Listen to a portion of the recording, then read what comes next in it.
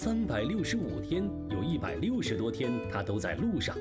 看见新奇产品，必须拍下一张照片。有冒险都有风险，但是它的利润也是最大化。冒险早已成为他前行路上不可或缺的风景。别人种冬瓜越大越好，他却偏要种小的。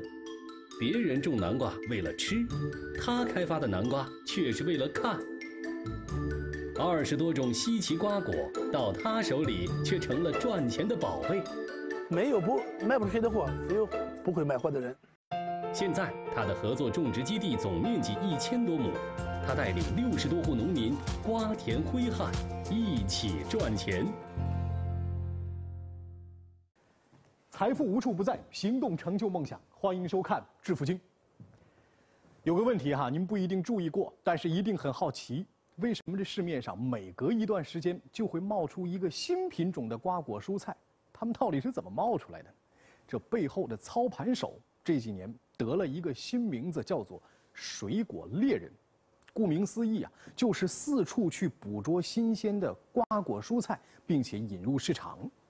今天我们节目的主人公张保卫，今年已经六十岁了，不是在看瓜果，就是在去找瓜果的路上。一年三百六十五天，他有一百六十多天在干这件事儿。经他手引进的瓜果有二十多种，而张保卫最近引进的是一种叫做巴西蜜瓜的品种。今年呢，应该是种植成功，大批量上市了。这本来是一件该高兴的事儿啊，可是张保卫的心情。却很复杂。对对对二零一九年七月，张保卫终于盼来了丰收，他的瓜成熟了。为了这一天，他足足等待了四年。今天是二零幺九年的第一第一次采摘。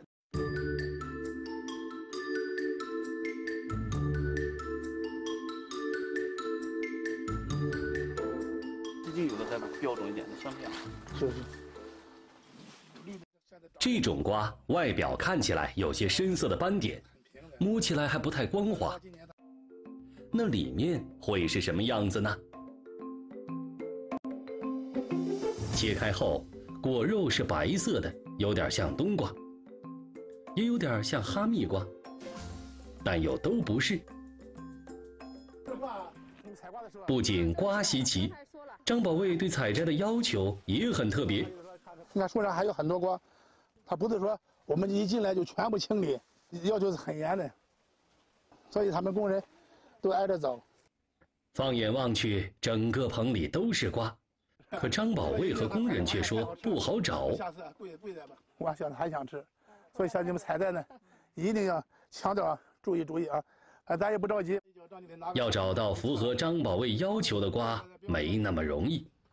为了避免划伤瓜皮，工人们都要戴着手套，挨个检查每一个瓜。只有看到一样东西时，才能采摘。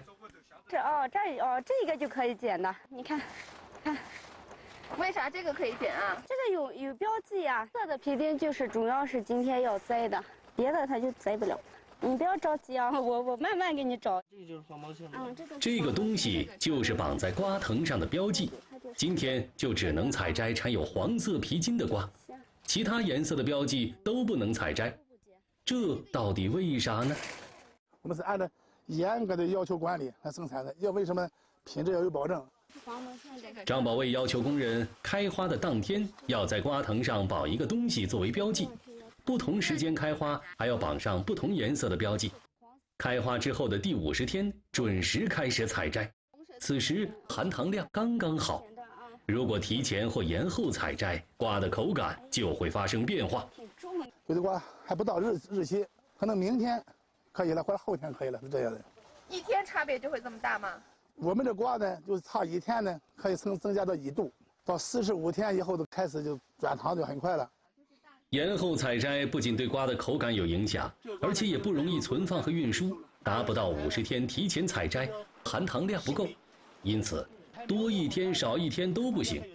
是今天要采的，他们，你看它两个的对比不一样。你看它这个花纹呀，它这个就没花纹，它光光的。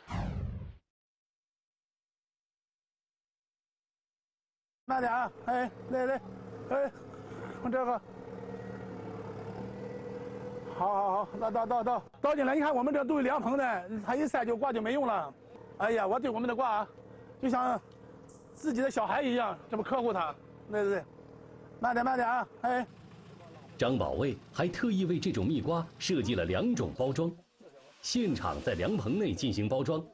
为了防止运输中磕碰，张保卫要求工人在每个箱子里垫上木条，一个木箱能放三个五斤左右的蜜瓜。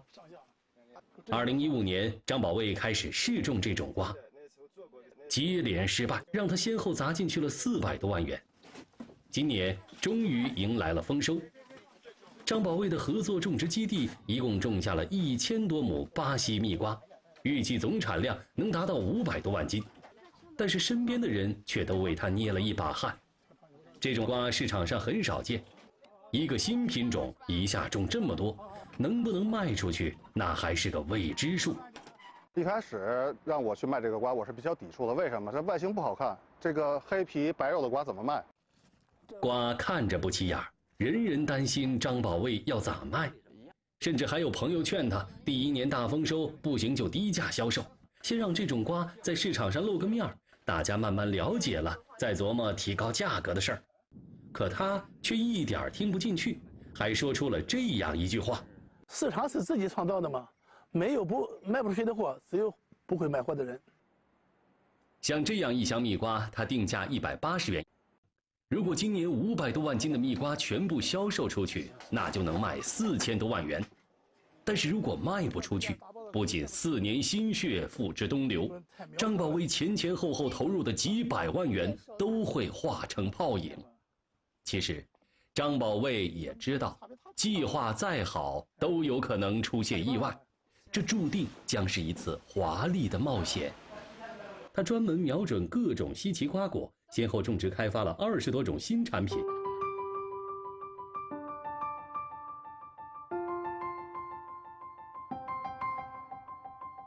现在，张保卫在国内有合作种植基地，总面积上千亩。带领全国各地五十多户农户一起致富，谈起他创新的勇气，很多人非常敬佩。他做水果生意也三十多年了，他的思路就一直在在全世界在发掘这种东西。他说，他的思路很简单。他说，呃，我不想做一个市场水果市场的跟随者，我想做这个市场的领导者。不一样，有个性，敢于创新，新的东西敢于推向市场。也可以说是做水果的领航者。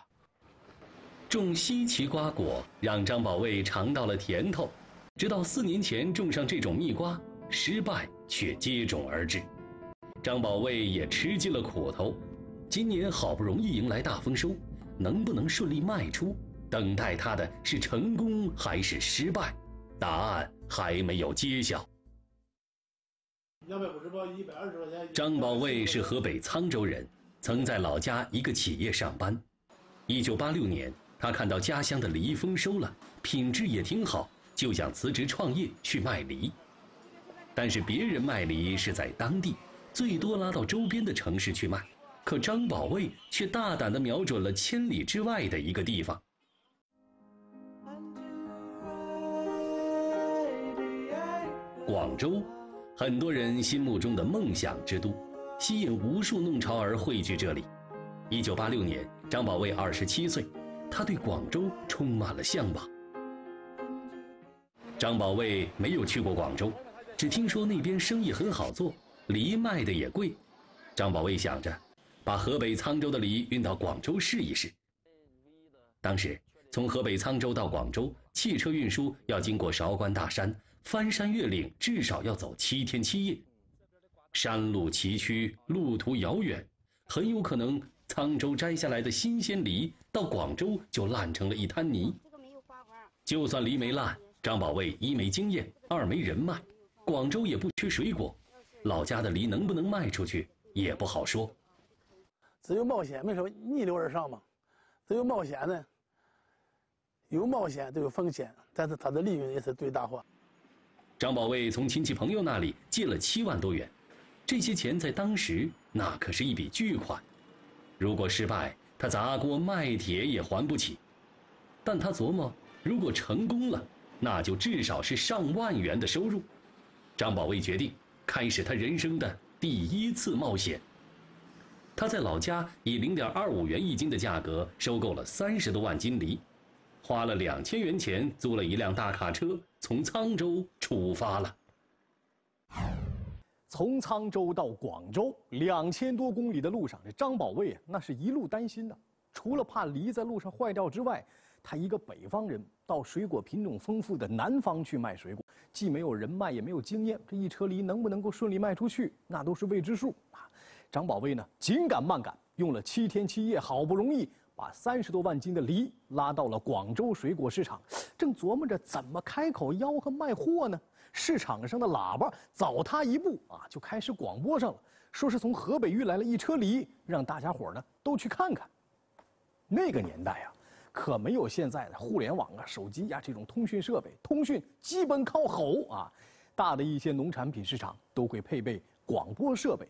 这个市场里啊，从哪儿来了什么货呀？通过广播会告知大家。哎，这个北方的梨到了南方也算是紧俏货呀。张保卫刚拉进广州水果市场的这车梨，就这么靠市场的广播，很快卖完了。你有会儿水果进了广州，就好卖。市场上需求量很大，那广州天气太热，都想吃雪梨，雪梨供没供应不过来。张保卫三十多万斤的梨，收购价零点二五元一斤，他卖出零点九元钱一斤的价格，一周内全部卖完，赚到了二十多万元，这可把张保卫高兴坏了。在那个时候来讲，一这万元户那是很了不起的一个事情来的。第一桶金赚到钱，你就对他有信心了，就改成做家乡的水果了。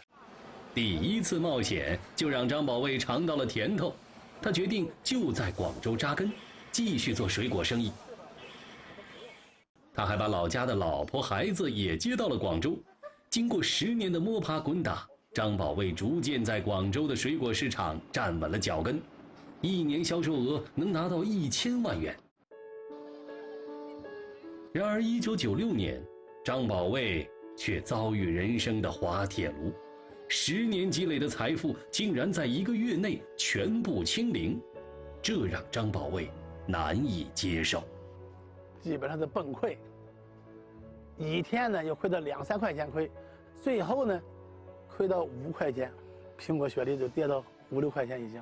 这十年赚的钱基本上全部亏光。当时因为苹果和梨行情暴跌，张保卫囤积的货又多，一下子赔了一百多万元。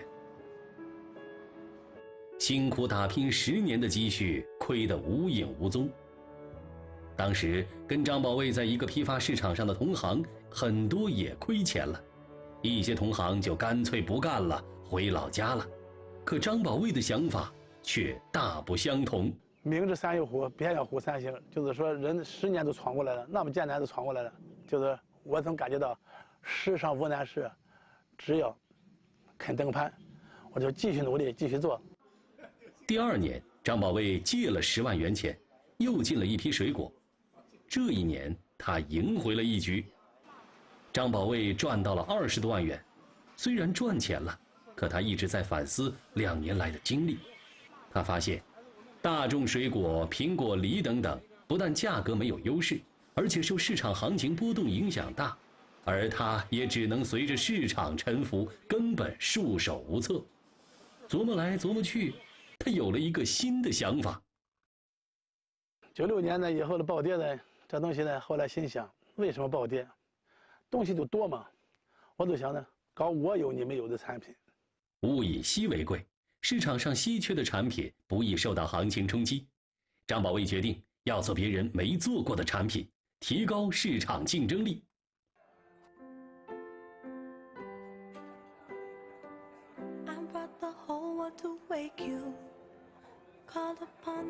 早茶对生活在广州的人来说是不可或缺的内容，一壶茶，两笼点心，三五好友坐在一起慢慢享受。广州人对吃很讲究，平日也比较注重养生。每到夏天，当地人都会吃这样一道菜——冬瓜盅。张保卫也爱吃冬瓜盅，可吃着吃着，他发现了一个商机。广东呢有他有吃冬瓜的习惯，广州有大冬瓜盅，他十个人八个人呢吃一个，就心想啊，样能出现小冬瓜呢就最好了。广州的冬瓜盅都是用大冬瓜做成的，张保卫却想引进小冬瓜种植，但是市场能接受吗？不管别人怎么劝，张保卫偏偏就认准了，他要种小冬瓜，卖给饭店做冬瓜盅。张保卫在广州试种了一百多亩的小冬瓜，成熟后，他拿着小冬瓜找到当地的一些饭店，可一上来就吃了个闭门羹。他第一次拿这个小冬瓜给我们的时候，我以为他拿一些还没长大的冬瓜给我们啊，然后呢，我们都说，哎，你长大了拿点大冬瓜给我们才好，我们卖大冬瓜比较好啊。为了吸引饭店购买小冬瓜，张保卫想了一招，一家饭店送五十箱，就是我们就给酒店里啊，就送给你五十箱，叫他怎么吃怎么用，好卖的卖了以后，你就这卖了以后再要货，就打个八折。不要货呢，我们干脆就把冬瓜反放在家里也没用，就干脆送给酒店里了。那段时间，张保卫每天把小冬瓜往外面送，几千箱，两周内就全部送出去了。张保卫为什么非要种小冬瓜？他怎么就那么自信，饭店试用小冬瓜后一定会选择回购呢？上一次张保卫赔得一塌糊涂，总结原因那是手里的货呀太大众化了。面对行情的变化和市场的竞争，他完全没有回旋的余地。在那之后呢，张保卫意识到市场竞争力的重要性，想要改变生意模式，做市场上别人没做过的产品。这个小冬瓜就是他选择的方向之一。而在引进小冬瓜之前，他就做过调查。这个饭店里呢，不少食客呀喜欢吃这个冬瓜盅啊，但是大冬瓜盅实在不是一个人能吃得完的。来，您看啊。视频当中，左手边的这就是大冬瓜盅，直径四五十厘米；右边十多厘米，这个是小冬瓜盅。这个大冬瓜盅您看了啊，这得用盆装啊啊，适合一桌十几个人一块儿吃。而小冬瓜盅您看了啊，一人一份儿啊，一份儿的量，就算是这个一大桌人吃，一个人面前摆这么一个，吃起来它也卫生啊，销售上有亮点，它就有商机。一人份的冬瓜盅。就这么成为了张保卫的拳头产品。做生意嘛，这是对我的感觉是什么呢？就像做那个心理的一样，和心理医生一样，这个因人制宜、因地制宜啊。就是每个人的心理不同，所以他的消费也不同，所以给他定位也不同。所以我们就说，这一个产品开发出来，要首先考虑好的它定位。我定给谁，谁来吃，谁来要。张保卫从来不会盲目冒险，他早就想好了，小冬瓜做出的冬瓜盅一人一味，就算一大桌人吃，一人面前摆上一个，吃起来也比较卫生，这就是他特殊的市场定位。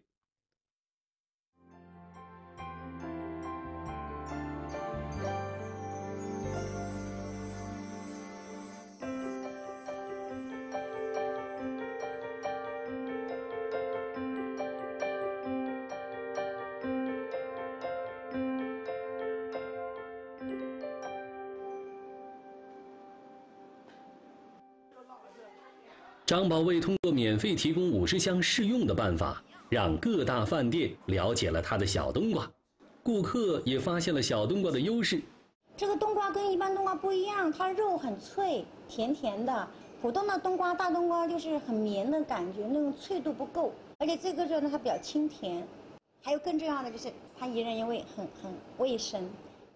一人一味的冬瓜盅可以先喝汤，还可以把冬瓜盅里的冬瓜肉也吃了。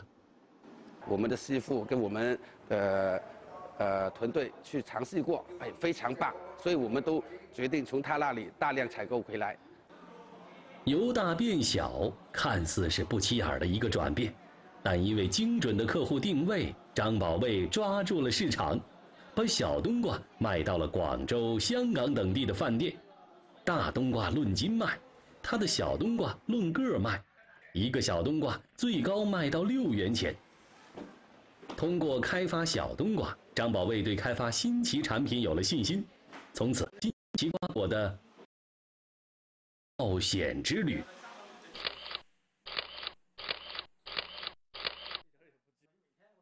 张宝卫四处参加瓜果产品的展会，手机不停的拍，我有一种感什么感觉呢？有一种职业病一样。这些照片都是他在世界各地拍的新奇瓜果，有的展会时间会在二月份，正赶上国内的春节，张保卫也照去不误。有的时候大年三十或初一，他开这个会，开。大年三十你也去啊？也去，我每年都要去，所以每年要开发新的东西，因为世界上也是，品种也在换，是包装也在换，所以现在就说，我们一定要做到像我的微信里说的，引领农业新潮流，这是我想要做的事情。张保卫把照片洗出来，贴在办公室的墙上，每天对着照片研究琢磨。张保卫还找到国内一些育种方面的专家，邀请他们担任自己公司的技术顾问团。我是搞育种的，搞科研的，他是在发展这个高档的一些瓜类品种，就这样的是两个一个互补。我定位呢是不同的，实际每个消费者呢，他是怎么样呢？他这就这五官呢都有需求的。开发农产品这个市场啊，空间很大，不要光想着吃。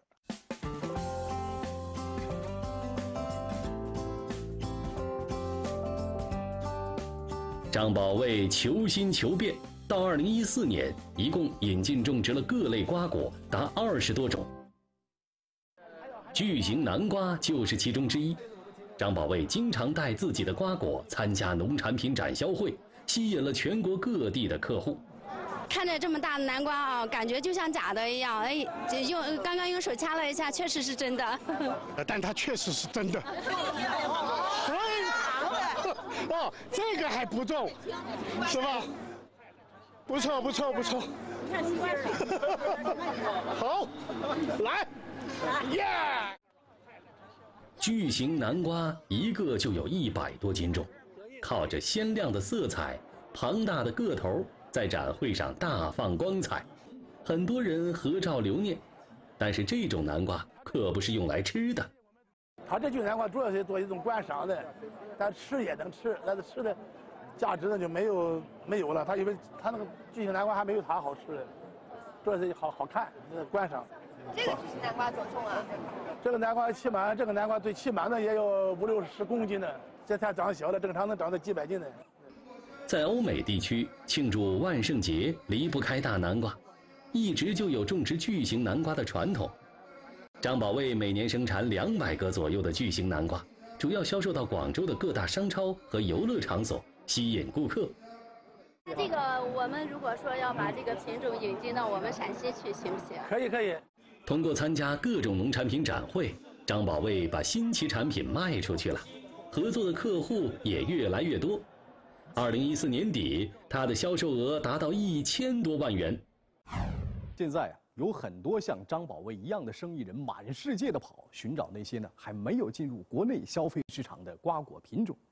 但是种类那么多啊，什么样的可以带入国内市场呢？首先，记忆点，瓜果的外形、香气、口味，甚至是生长历史，都可以成为让消费者记住的理由。再有就是普及率啊，农产品在种植上受土壤、气候环境的限制很强。一个新品种引进来，能不能够普及种植，也是张保卫看重的点。秉持着这两点，张保卫已经成功的引进了二十多种瓜果，还没有看走眼过。哼，但咱们说凡事儿他都没有一帆风顺的。二零一五年，他遇上了一种瓜，不仅让他惆怅了很久，还花光了全部积蓄。二零一五年二月，张保卫盯上了一种巴西蜜瓜。这种蜜瓜样子不好看，像冬瓜也像哈密瓜，朋友不看好，可张保卫却当成宝贝一样。他开始了人生的又一次冒险。二零一五年在海南试种了三百多亩，可等到的结果让他非常失望。他肯定是伤心，气候的原因，就是他的播种的季节不对，就不甜。海南的这个昼夜温差已经没有了。所以糖度一直上不来，最后这个瓜也没有很好的商品价值。因为昼夜温差不明显，瓜的含糖量很低，当不了商品，最后只能烂在地里。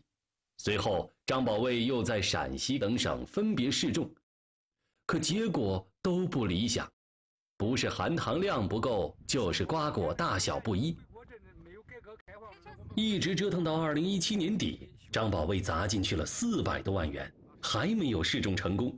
别人都劝张保卫换个品种，可张保卫却铁了心要种这种蜜瓜。不要说一跌倒了，躺在那里要是不起来，起来呢，我不往前走了，就是碰的头破血流，我要坚持。最后，你这么坚持，最后才能到顶峰，到了顶峰呢，你就是胜利者。张保卫其实发现了这种蜜瓜身上的一个秘密，他才敢冒险试种。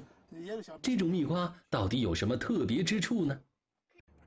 二零一八年，正在张保卫走投无路时，朋友给他推荐了一个地方。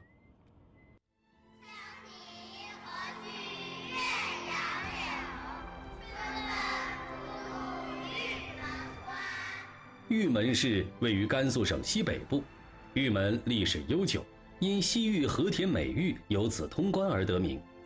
玉门属于大陆性中温带干旱气候，这里降水少，日照长，是种瓜的好地方，这让张保卫看到了希望。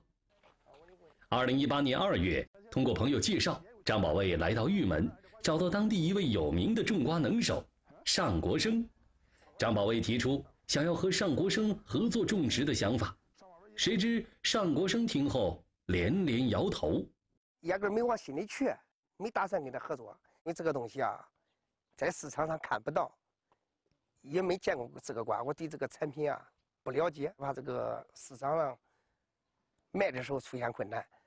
这个瓜将来种给种出来啊，张总要不要了怎么办？我去卖给谁？其他人能不能接受？这是我的顾虑。尽管尚国生种瓜二十多年，经验丰富，可让他种植一种从来没见过的蜜瓜，他的顾虑很多。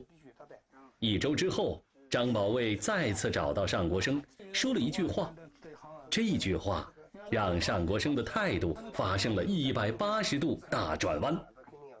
张总，这个条件一给我，在后边都，所以这个都达成了嘛，这个。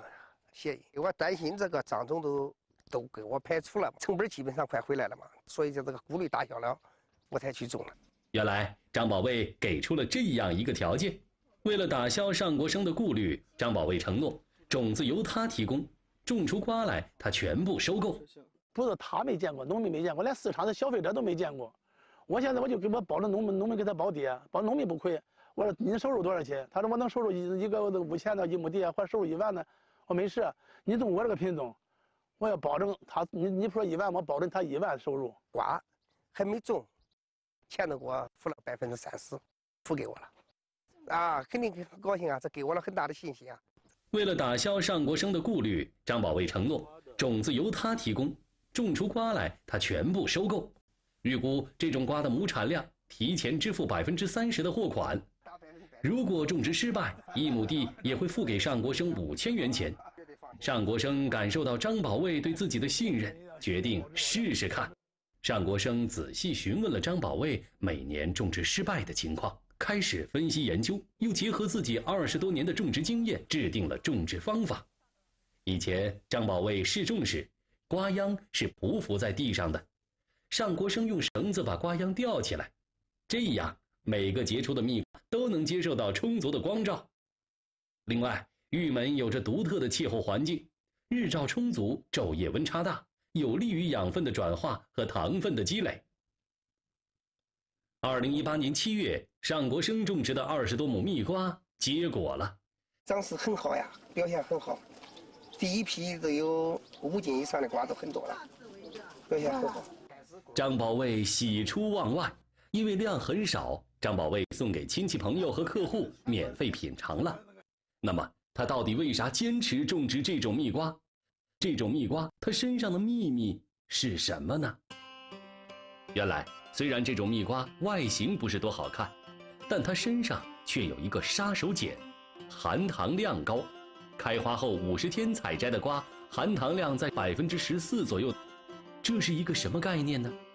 我们平时常吃的草莓、西瓜。含糖量在百分之四到百分之七，梨、哈密瓜含糖量在百分之八到百分之十，苹果、橙子含糖量在百分之九到百分之十三，蜜瓜百分之十四左右的含糖量，说明它是很甜的。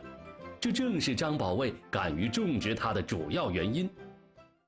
二零一九年，张保卫在玉门市通过与农户合作种植的方式，种下了五百多亩蜜瓜，确实给我们玉门农业，呃，注入了新的活力啊！特别是设施，呃，种植这方面，现代农业发展方面，都都给我们，呃，确实是呃腾出一条新路子。张保卫琢磨，这种蜜瓜最大的特点是含糖量高，能不能让它优势最大化呢？他的目光又投向了宁夏回族自治区。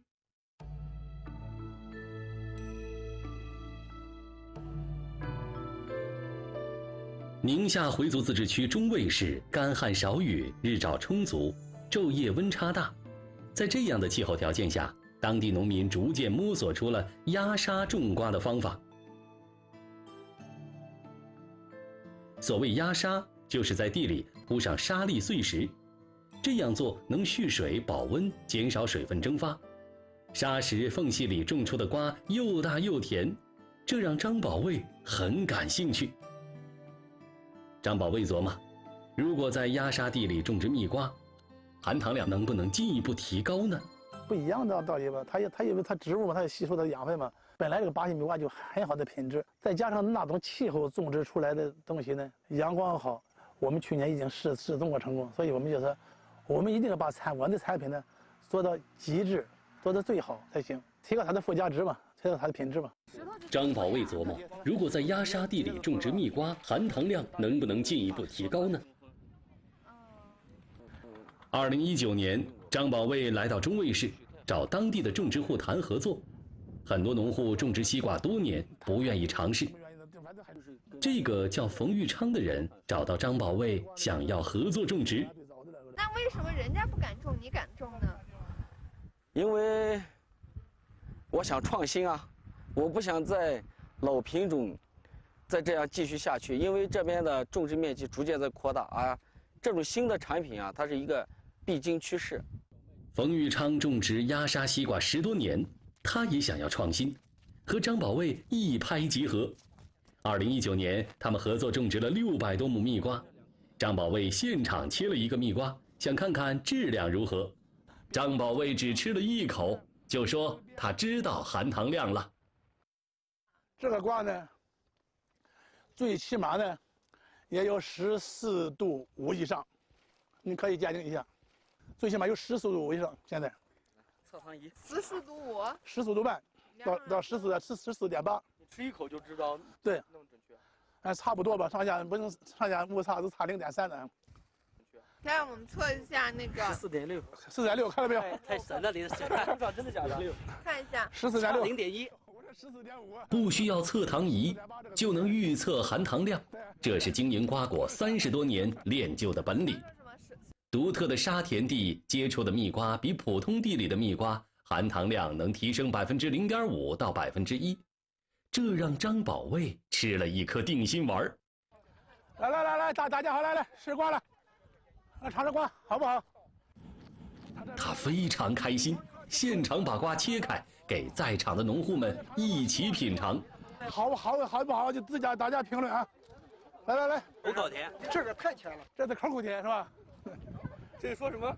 太甜了，太好吃了。张保卫在甘肃宁夏一共合作种植面积有一千多亩，预计总产量五百多万斤。如果按他说能全部卖出去，将实现他四千多万元的财富计划。可如果卖不出去，投入的心血和资金就全打了水漂。张保卫到底要怎么把这些蜜瓜卖出去呢？其实啊，张保卫早就有了规划，咱们一块儿来看看啊。七月底，宁夏银川的二十亩巴西蜜瓜首先成熟上市。而接下来呢，是甘肃玉门的五百亩地也陆续成熟上市了。到了九月份，宁夏中卫的六百多亩巴西蜜瓜也陆续的成熟了。咱们说了，把巴西蜜瓜分区域种植错季上市，一直能够持续到九月底。而这种分区域上市呢，现在已经不是什么稀罕事儿了。但是，这个张保卫呀，他更进了一步，他呢根据市场的需求，精准到了种植的面积。宁夏中卫种植的基地面积是银川种植基地的三十倍，这到底是为什么呢？张保卫经营水果多年，他的销售思路是：种多少要根据市场需求，不同月份市场需求的量是不同的，所以他会提前安排计划，根据瓜上市的时间来倒推他要种多少瓜。下半年里，一个重要时间段是中秋节，到那个时候销售量会大增。这个时候呢，正赶到什么中秋节的时候了。中秋节的量呢，我们做水果的经验，做三十年的水果经验，中秋节的销量和平常的销量大多少倍啊？大三十倍，知道吗？所以呢中秋节的时候，你送给我，送给你，每个家庭都要大三十倍。比如说现在。有现在吃水果，有一个人吃，到中秋节就三十个人吃，所以我这个量呢要跟着这个节奏走。现在我我种二十亩，二十亩的三十倍呢就六百亩了，现在就所以呢是这涨千亩了，我是按这个量来发展的。张保卫说，中秋节的销量是平时销量的三十倍，所以他推算了一下，中卫市的基地中秋节前后蜜瓜成熟，他要种上其他基地三十倍量的蜜瓜。除了种植上计划先行，张保卫还精心设计了两款包装。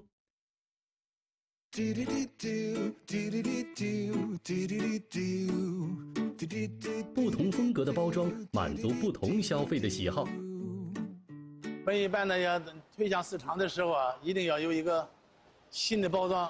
人配艺术，马配鞍嘛，所以说我们一定把包装好的东西给它有好的包装。其实，早在蜜瓜成熟前一个月，张保卫就开始琢磨如何进行宣传销售。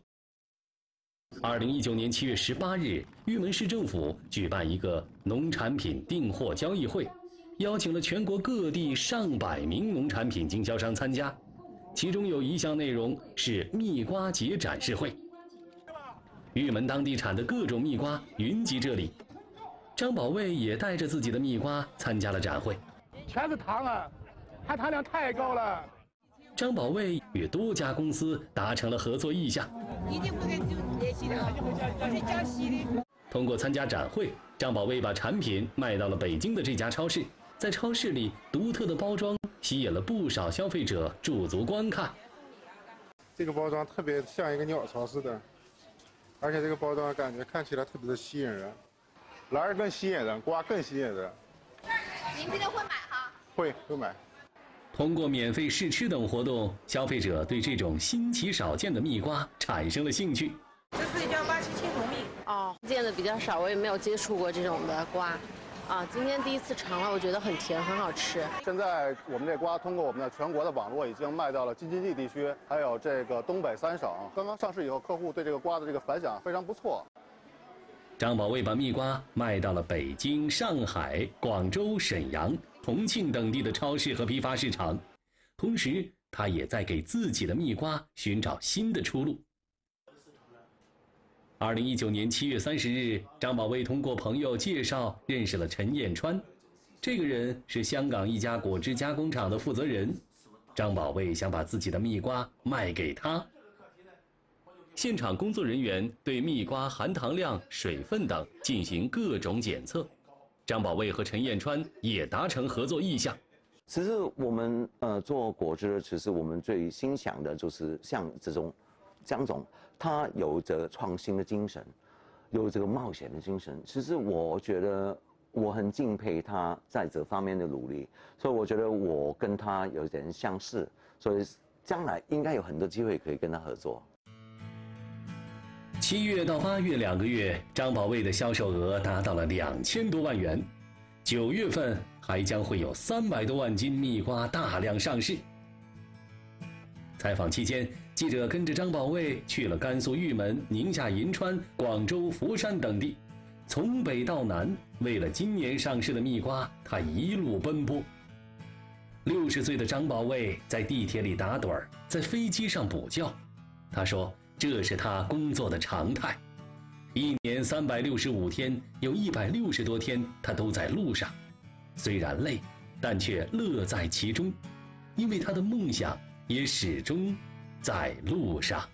我就想呢，把我的理念推广到全中国，如果把先进的东西，叫农民跟着我们一起来致富，这是我的心愿。啊，这是我的力量，也是微薄的力量。但是呢，我要证明我自己的人生价值。啊，我懂的事情，我就想着传播下去，叫咱们中国的老百姓呢都在受益。